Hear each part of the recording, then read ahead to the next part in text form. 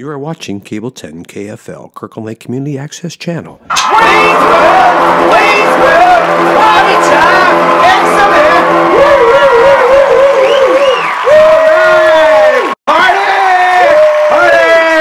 Yeah!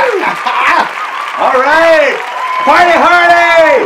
Okay, it's Saturday night, it's 8 p.m., and it's time to party. And I'm your excellent host, Wayne Campbell. And with me, as always, is Garth. Party on, Wayne. Purdy on. So, Garth, what's been happening? Well, as you may remember, the last time you saw me, I got pubes. Excellent work, my friend. Excellent. yeah, and uh, what's been going on with you, Wayne? Well, strangely enough, last month, a monkey literally flew out of my butt. No way! Wait, No way! wait. That's way! That was fun. Okay, yeah. All right. It's Oscar time. So now we bring you our Oscar picks. Oscar picks, Wayne's World, party time, next the man.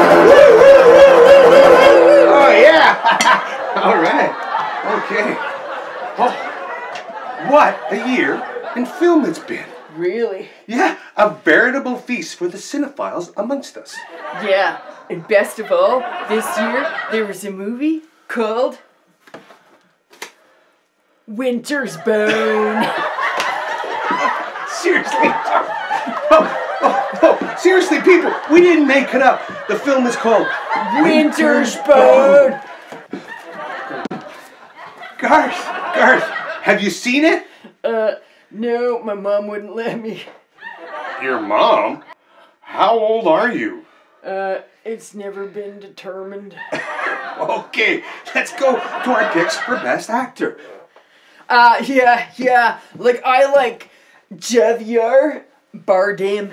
Actually, Garth, it's pronounced Javier Bardem. Oh, well, excuse me. Um, I feel like a total herk off. All right, let's go to the Best Actress. Natalie Portman is so hot in Black Swan.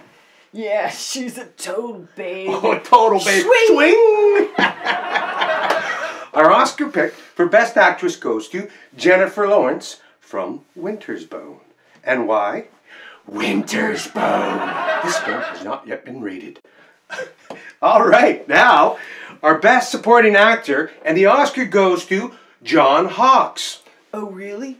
And what movie was he in? Winter's Bone. This movie has not yet been seen. okay.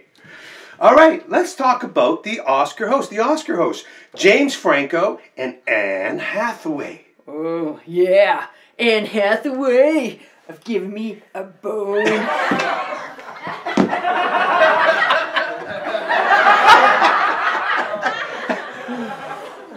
Winter's Bone. This joke has been done three times. All right. Now, Best Picture. There's eight nominees, you know, so it's a tough one this year. Let's start with The Fighter. Oh, yeah, Marky Mark. Oh, I loved him in this, especially with his shirt off. I thought he was super sexy. What?